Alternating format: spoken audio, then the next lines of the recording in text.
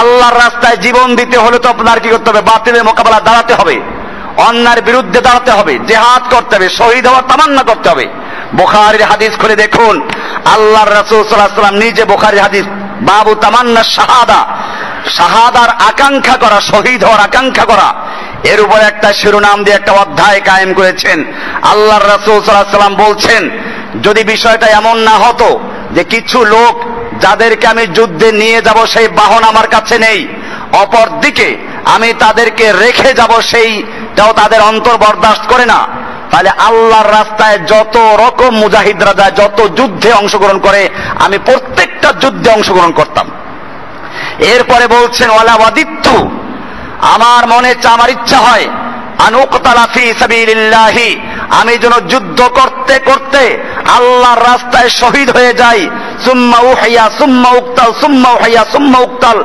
আমি আল্লাহর রাস্তায় যুদ্ধ করতে করতে শহীদ হয়ে যাই, আবার জীবিত হই, আবার শহীদ হই, আবার জীবিত হই, আবার যেন শহীদ হই, আবার জীবিত হই। এরকম আল্লাহর রসুল বারবার বলতে লাগলেন, কমপক্ষে চারবার বলেছেন। তাহলে বোঝা গেল, আল্লাহর রসুল নিজে পর্যন্ত শহীদ হওয়ার জন্য তামান্না করেছেন, আকাঙ্ক্ষা করেছেন। জান্নাতে যাওয়ার পরে আল্লাহ তারা জিজ্ঞেস করবেন, ও জান্নাতীরা, তোমাদের কোনো আকাঙ্ক্ষা আছে কিছু? সবাই বলবে, আল্লাহ, তুমি তো সবই দিয়েছ। আর কি করব? বলে, আরও কিছু আমার তামান্না করো, চাও কিছু? তখন শহীদরা আবেদন করবে, আল্লাহ, আমরা চাই যেন আমাদেরকে আবার জীবিত করে দুনিয়ায় পাঠানো হয় এবং তোমার জন্য, তোমার দিনের জন্য লড়াই করি, জেহাদ করি, আবার শহীদ হয়ে যাই। আমাদেরকে আবার পাঠানো হোক আমার শহীদ হয়ে যায় এটা শহীদরা বলবে। বোঝা গেল কোনো পীর বলবে না, কোন বুজুর্গ, কোন আল্লাহর অলি তারা কেউ বলবে না, আমাদেরকে দুনিয়ায় পাঠাও, জান্নাত থেকে বের হতে আর চাবে না। একমাত্র শহীদরাই চাবে যে আল্লাহ আমাদেরকে আবার দুনিয়ায় পাঠাও, আমরা যেন তোমার রাস্তায় জেহাদ করে শহীদ হয়ে আবার জান্নাতে আসতে পারি। শহীদদের এত মর্যাদা, এজন্য সাহাবা একরাম শাহাদাতের জন্য তামান্না করতেন, কান্নাকাটি করতেন, দাড়ি ধরে দেখতেন, কয়টা দাড়ি পেকে গেছে, আর বলতেন, আল্লাহ বরফ তো গলে যাচ্ছে।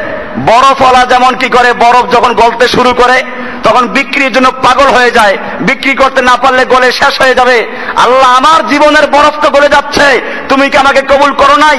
তুমি তো কোরআনে বলেছ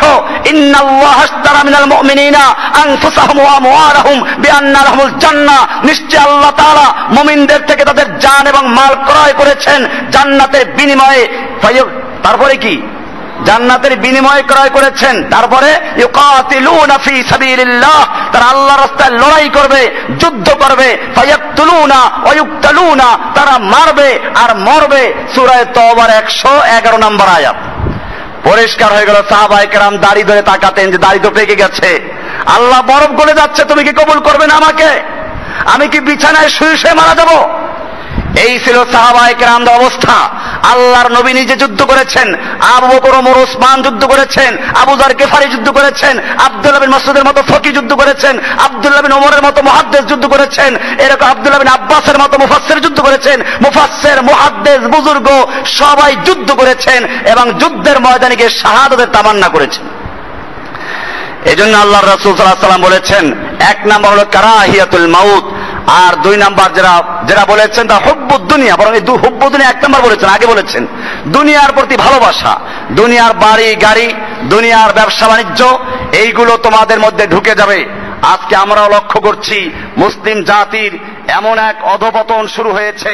এখন ব্যবসা বাণিজ্যের ধোকাবাজি, সব জায়গায়